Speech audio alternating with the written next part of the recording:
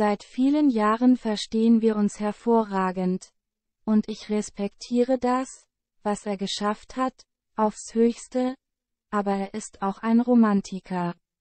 Daraus resultiert dieser Begriff, sagt der Kultrocker in der aktuellen Ausgabe des deutschen Männermagazins Play. Lindenberg hatte bereits vor Jahren angekündigt, zusammen mit dem ihm befreundeten Schockrocker Alice Cooper, 76, möglichst fit und gesund bleiben zu wollen, um dann ins dreistellige Alter zu rutschen. Außerdem baue er auf die Wissenschaft, die ihnen dann ein Leben bis zu 130 Jahren ermöglicht.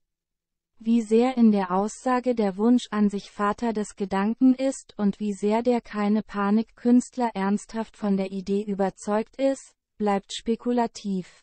Maffei für seinen Teil setze da eher auf den natürlichen, und vermutlichen auch eher realistischen, Lauf der Dinge.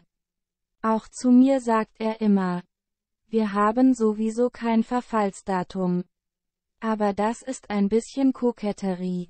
Natürlich haben wir das. Er wird in einer Urne sitzen, und ich auch, äußert sich Peter Maffei im Playboy Inter. Der Tabaluga-Erfinder spricht in der März-Ausgabe, die ab sofort erhältlich ist, nicht nur über die eigene Vergänglichkeit. Auch darüber, wie er den irdischen Endspurt nach mehr als 50 Jahren auf der Bühne verbringen möchte. Am 21. Juni startet seine We Love Rock'n'Roll Abschiedstour.